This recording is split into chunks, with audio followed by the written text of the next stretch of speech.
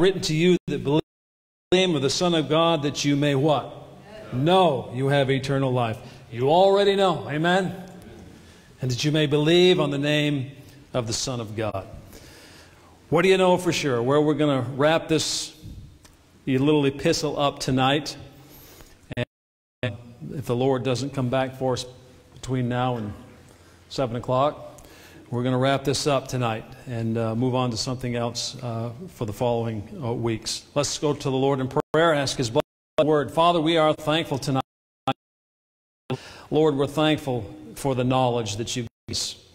We're thankful for the Holy Spirit, His indwelling presence, Lord, that gives us the assurance that we know these things. And Father, we can have confidence. Lord, for that we're thankful tonight. I pray, Lord, if there's one here tonight that does not have confidence, that they're sure Lord, that you would speak to that heart. Father, turn the light on. The light on hearts and minds. I pray tonight in Christ's name.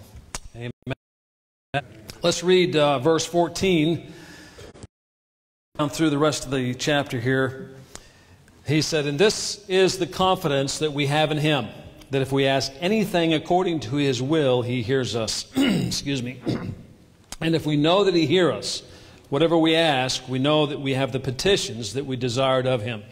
If any man see his brother sin a sin which is not to death, he shall ask, and he shall give him life for them that sin not unto death. There is a sin unto death, I do not say that he shall pray for it. All unrighteousness is sin, and there is a sin not unto death. We know that whosoever is born of God sinneth not, but he that of God keepeth himself, and that wicked one toucheth him not. And we know that we are of God, and the whole world lieth in wickedness. And we know that the Son of God is come, and has given us an understanding that we may know him that is true. And we are in him that is true, on Jesus Christ. This is the true God and eternal life. Little children, keep yourselves from idols. Amen. Well, one of the first things here that I'm going to give you.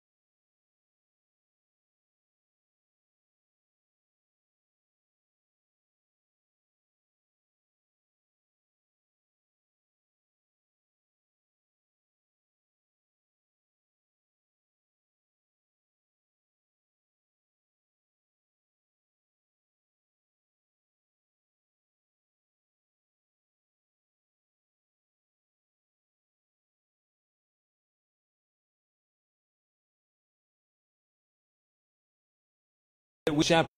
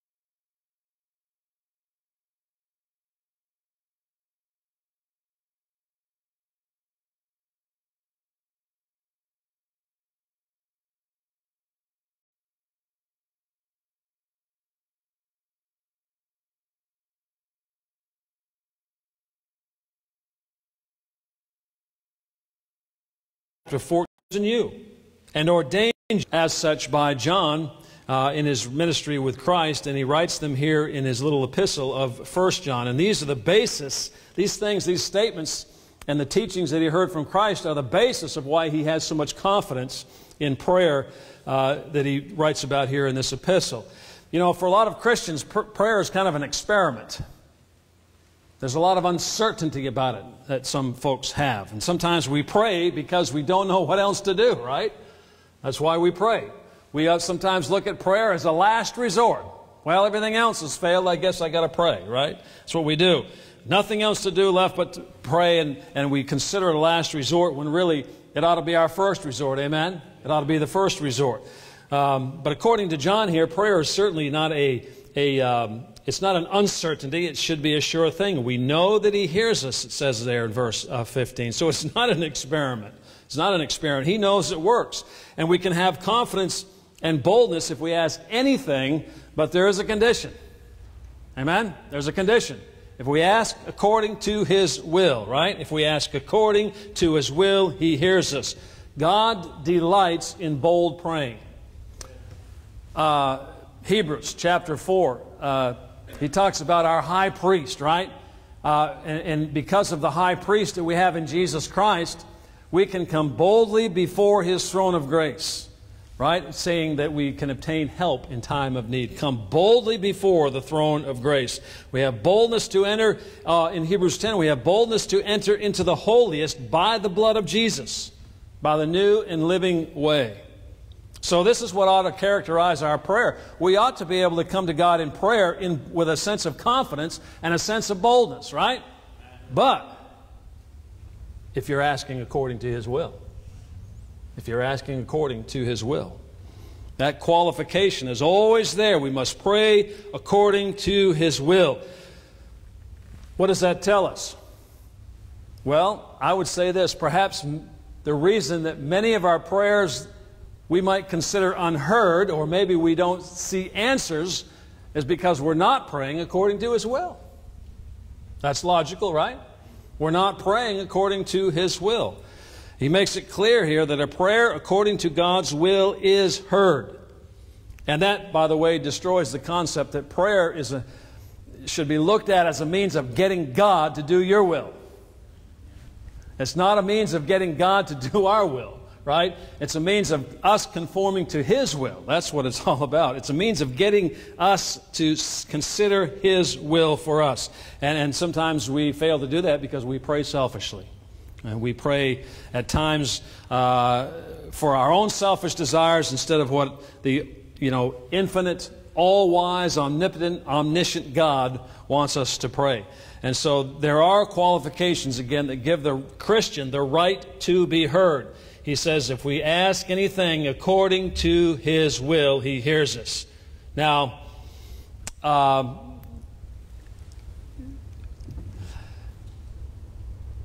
there's a lot of things we can pray for, isn't there? There's a lot of things that perhaps we pray for that we may not know what God's will is. How do we pray for those things? We pray and then we say, not my will, but thy will be done. Right? And there are a lot of things. You, you might say, man, you mean I've got to pray, everything I pray has got to be according to God's will? That takes all the fun out of it.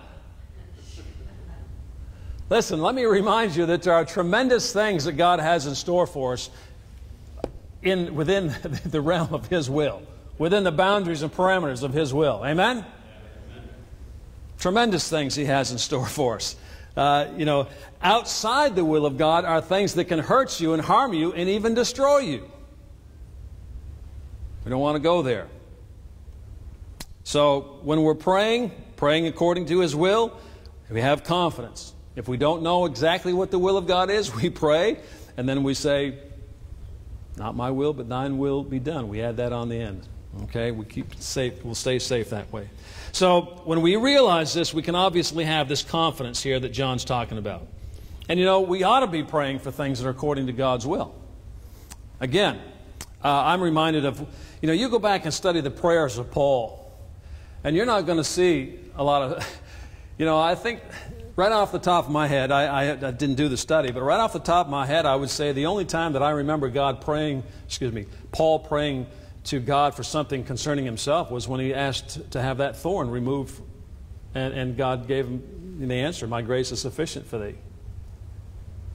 All the rest of the time, Paul, you go to Ephesians chapter 1, I think, and in Colossians, pretty close to the same prayer. He, he asked for a, a, a greater knowledge and understanding and having his eyes open to what God wanted him to do. He prayed for enlightenment. Listen, you can't pray out of God's will when you're praying that stuff, can you? That's the, those are the things we ought to be praying for. And we, you know, we pray for, for a lot of folks who are sick physically, and that's fine. Uh, but I'm here to tell you it's not always God's will that we'd be healed. Otherwise, we'd be living forever today. Well, that doesn't make any sense. You know, uh, verse 16, we'll move on here. Point is, we know this. You know, title of the message. What do you know for sure? We know God hears us. Okay? We know God hears us. And we need to, be, we need to have the confidence and boldness in our prayer by praying according to His will. Now, when we get to verse 16, uh, I was reading some things on this. This is perhaps, one, one guy called this uh, verse perhaps one of the most difficult to interpret in the, in the Bible. I'm going, wow, why did I have to preach this passage? uh,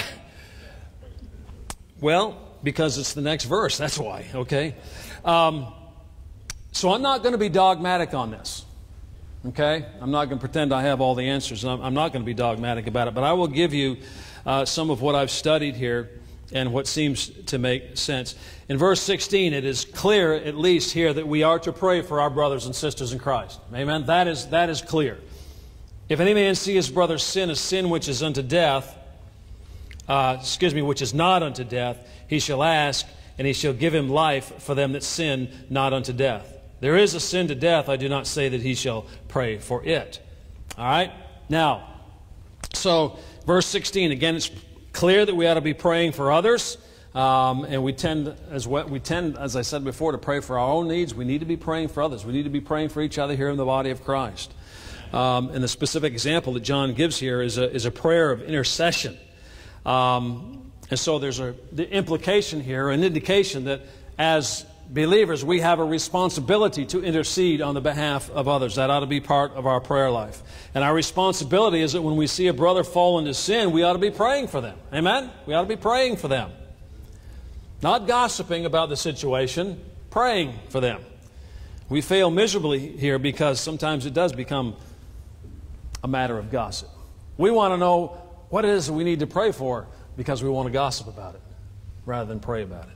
Now, verse Again, verse 16 and 17 really are an illustration here of what John has just been saying about praying in God's will. We have an illustration of a request that is perhaps here, or excuse me, is in the will of God. We also have a request that apparently, from what it sounds here, it is not in the will of God. You know, when a, when a brother is involved in sin, uh, I tell you what, let me, let me go to something that I was reading earlier here.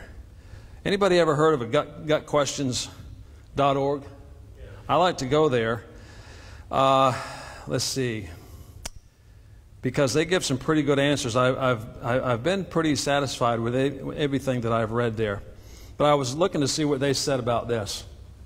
Here's, here's where I was reading. One of the most difficult verses in the New Testament to interpret uh, this, uh, this passage. Uh, the best interpretation, they say here, may be found by comparing this verse to what happened to Ananias and Sapphira. We know what happened to them, right? Uh, they lied to the Holy Spirit and uh, they got drug out of the church. Uh, we also know the situation in 1 Corinthians chapter 11 when Paul said that there were many that were abusing the Lord's Supper and there was, uh, there was uh, folks that slept because of that. In other words, they died because of that. According to 1 Peter 1.16, God has called us to holiness, right? So when we sin, obviously, that puts us in trouble. And uh, God corrects them when they sin. We are not punished for our sin in the sense of losing salvation or being separated from God, yet we are disciplined because we know, according to Hebrews chapter 12, the Lord loves those whom He disciplines. Hey, be glad God disciplines you when you stray. Amen? Because that means you're saved. Um, he says, There comes a point when God can no longer allow a believer to continue in unrepentant sin. When that point is reached, God may take the life of the stubbornly sinful believer. The death is that's referred to here as a physical death. Um, and so the Apostle John here is making this distinction uh, between uh, this uh, sin that leads to death and a sin that does not lead to death. Um, he goes on to say here, I'll just kind of skip down through here. God, in Acts chapter 5 and 1 Corinthians 11, I mentioned, he says, God dealt with intentional, calculated sin in the church by taking the physical life of the sinner. He also talked about a man who was uh, uh, having an uh, immoral relationship in 1 Corinthians 5. He talked about the destruction of the flesh. May have been talking about the same thing there. So John is saying that we should pray for Christians who are sinning and that God will hear our prayers. We know that. He goes on to say this However, there may come a time when God decides to cut short a believer's life due to unrepentant sin. Prayers for such an unheeding person will not be effective.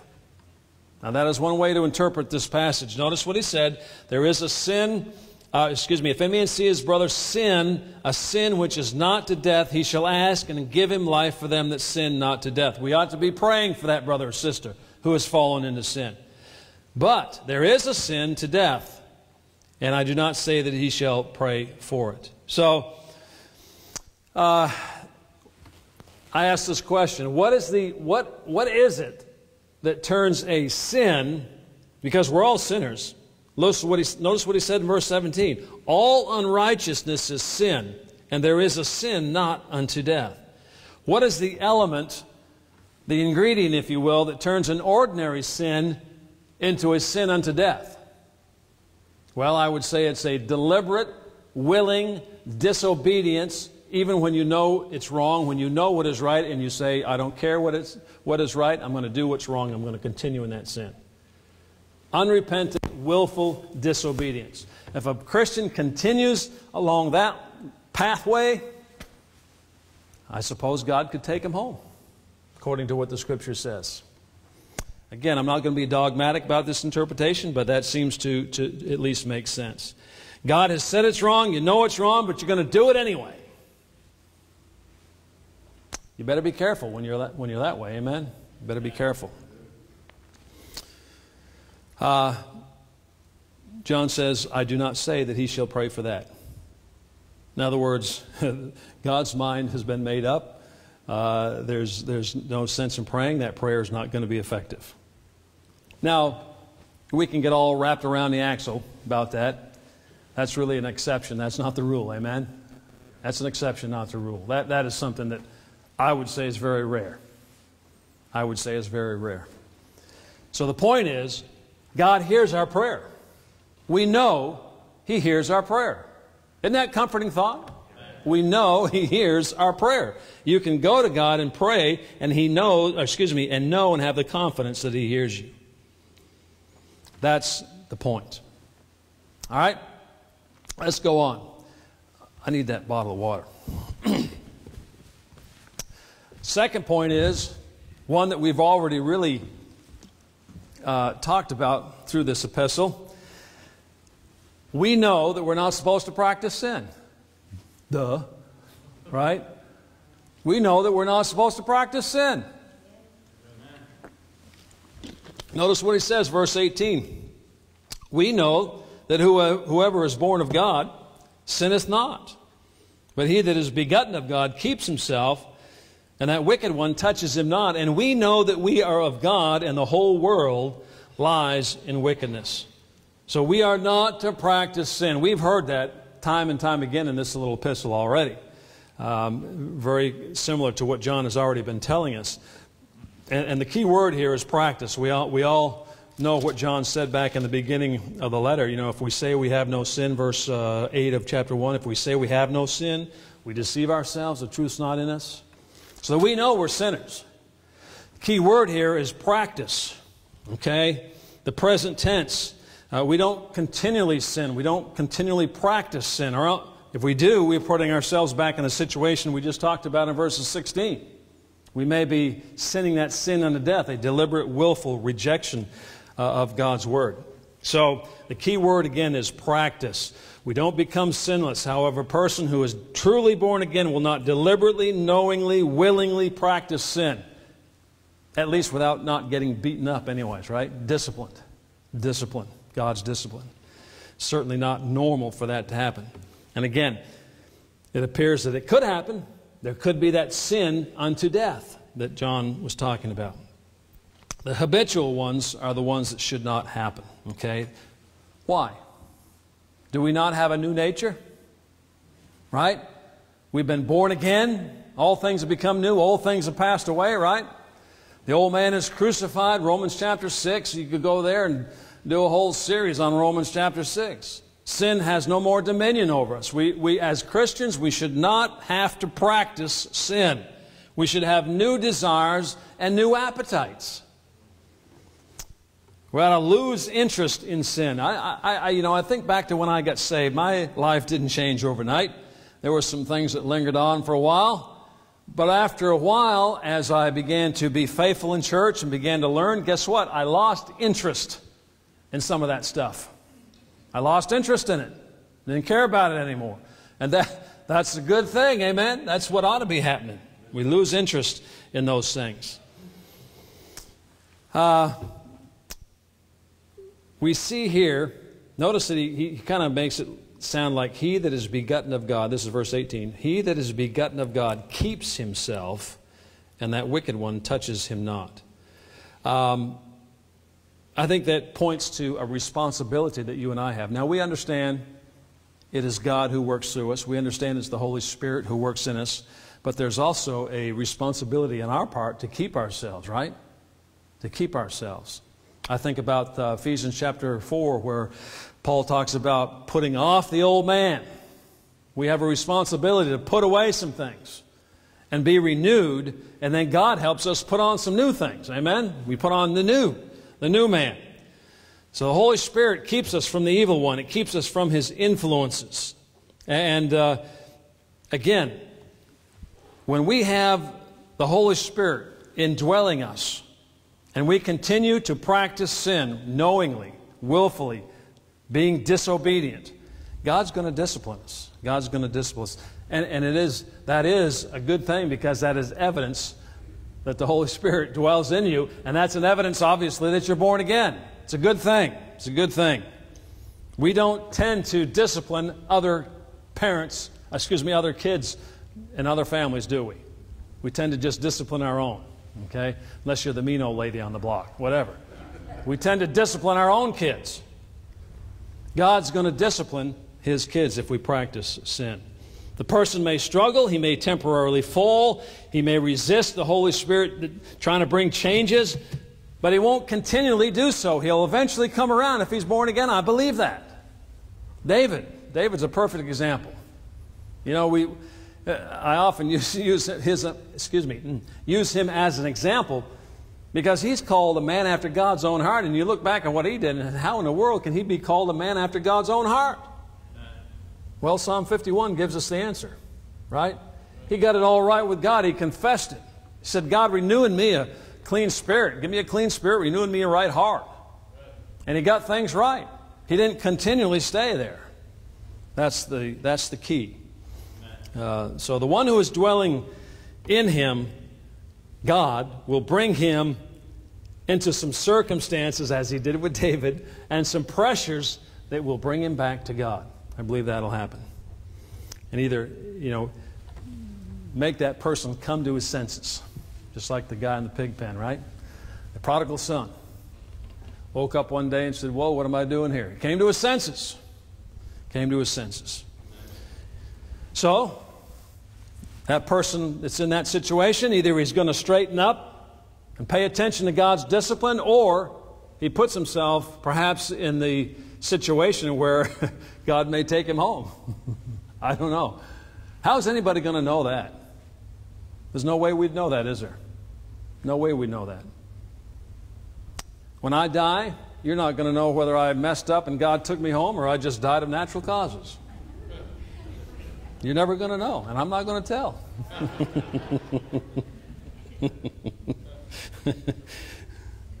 Listen, John is saying here We know that we are of God, and the whole world lies in wickedness.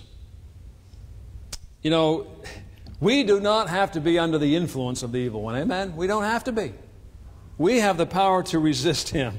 Uh, the devil doesn't have to make you sin. Don't be like Flip Wilson. The devil made me do it. Don't be like him.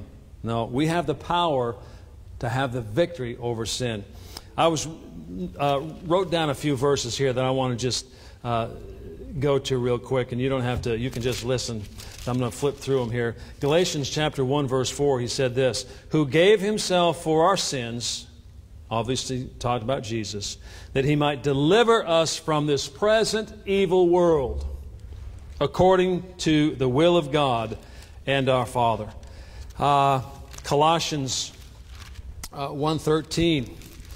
Colossians 1.13 says this, Who has delivered us from the power of darkness, and he has translated us in the kingdom of his dear Son. We are of God. We are of God. He has translated us into the kingdom of his dear Son. Uh, let's see, another one in Romans chapter 6, verse 14.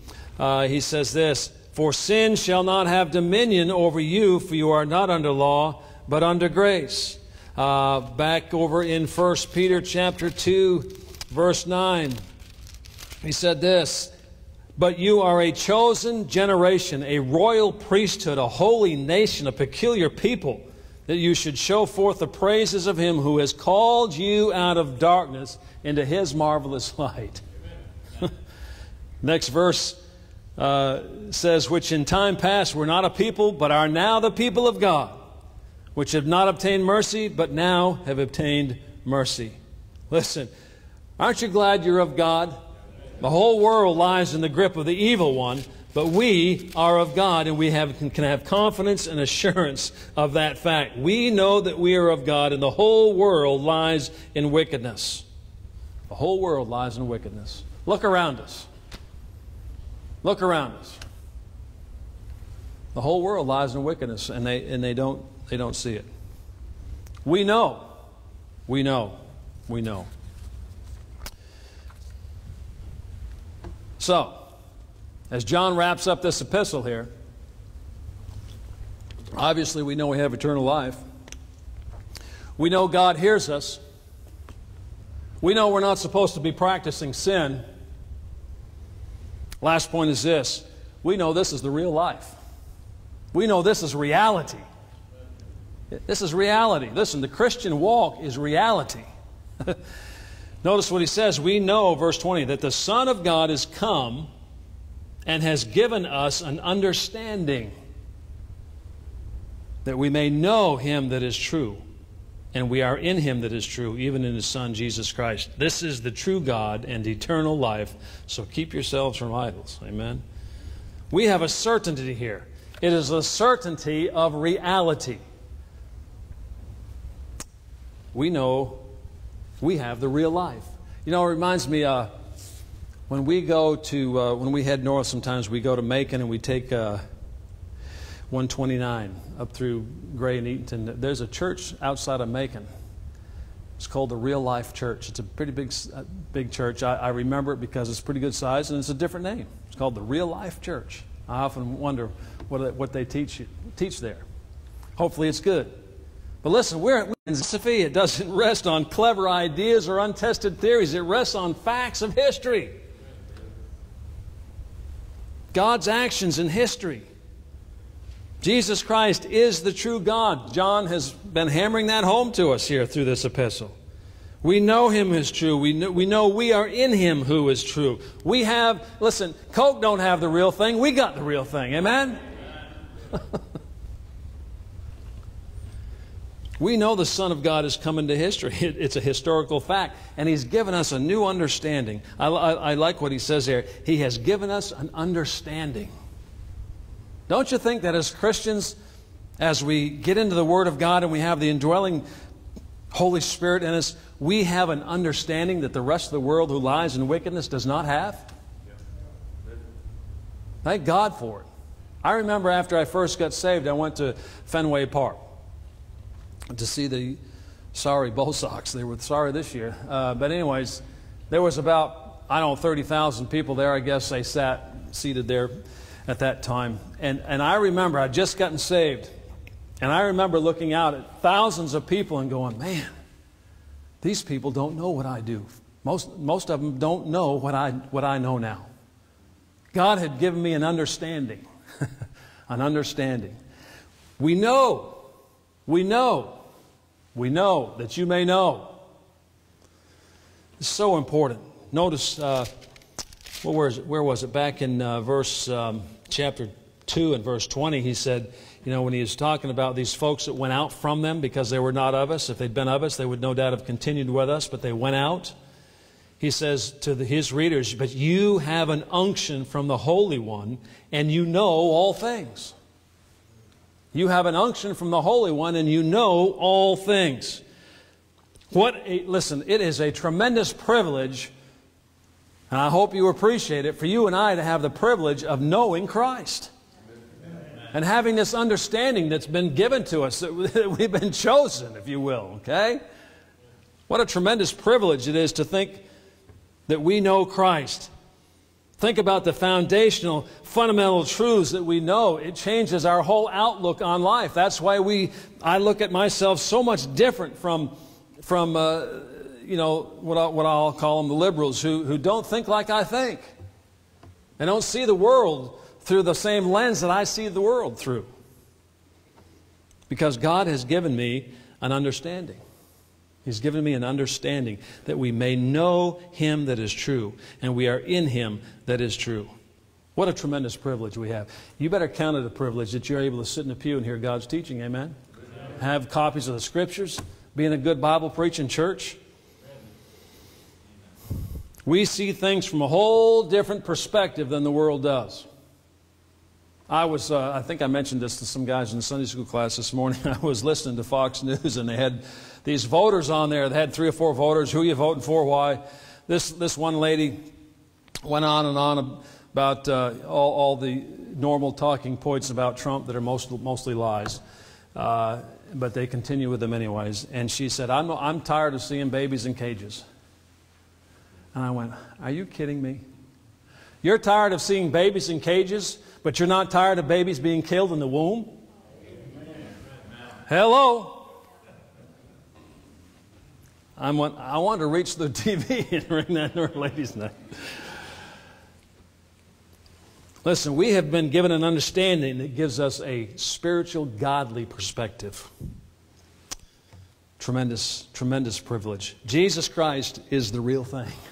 he is the real thing, and we know it. And he closes this letter by reminding us we know the Son of God has come and has given us an understanding that we may know him that is true and we're in him that is true. And then he closes there with that little verse. Given that fact, keep yourselves from idols. In other words, keep yourselves from anything that would take the place of Jesus Christ, who we know is true. If he's given us you, uh, excuse me, if he's given you an understanding, you're not going to be wor- uh, worshiping idols. You're not going to be letting anything else get in the way, kicking Jesus off the throne of your heart, if you will, and putting that, whatever that is, on there. Keep yourselves from idols. I guess I would ask the question what is it we live for? You know, every once in a while I have to sit back because I'm like a lot of us. We're busy in our routines of life and we got to do this and we got to do this and we got to do that. And, and every once in a while I sit back and think, what for? You ever get there? What for? It's all going to get burned up anyway. Lord, just come back today. it's the real thing. What are we living for? Is it Christ or is it something else? Ask yourself these questions. What makes you enthusiastic? What do you give your money to? What are you saving up for? What is it that you regard as supremely important? If God has truly given us an understanding here that we may know Him that is true, listen, we'll put our focus on Jesus Christ. I am glad that we have a faith, I guess I'll call it. I was going to say religion, but we have a faith where we can know these things are true. I, I think about a verse. Let's see, where is that? Uh, and I'll close with this, if I can remember where it is. I believe it's uh, Philippians 1 6. It says this Being confident of this very thing, that he which has begun a good work in you will perform it until the day of Jesus Christ. Amen? Amen. We can be confident. Listen, we know we have eternal life. We know God hears us. We know we're not supposed to practice sin. We know we're supposed to keep the commandments. We know we have an understanding. We have a different perspective on on the world because of the presence of the Holy Spirit, because of the understanding that we have, the unction that we have from God. What a tremendous privilege we have. Amen? Let's stand together.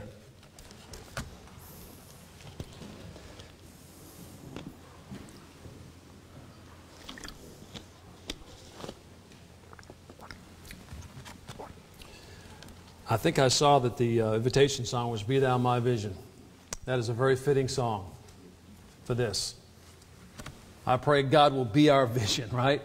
He would be our vision. And He can be. When we know He hears us, when we, you know, when we know that uh, we're supposed to be keeping His commandments, avoiding sin, we have this understanding He should be our vision. He's got to be our vision for these things to be true. Let's pray. Father, we're thankful for the Word of God tonight.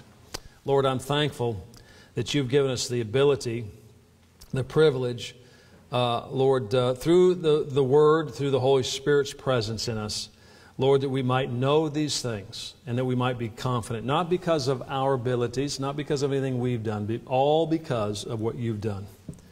Lord, for that we are truly thankful tonight. I pray, God, if there's one here tonight that's not sure, that they do not know that they have eternal life, Lord, speak to that heart tonight. Father, I pray that they might know the Lord Jesus Christ as their, uh, as their Savior before they walk out of this place. Father, for the Christian who perhaps has been maybe doubtful, maybe some things in the life that uh, has caused concern and worry, Lord, it's good that we know. We know these things. We know you hear us when we pray. Lord, we know that Jesus is the real thing. So, Father, I pray for your for this invitation time, Lord, that we'd be obedient to the urgings and the promptings of the Holy Spirit in us. We pray in Jesus' name. Amen.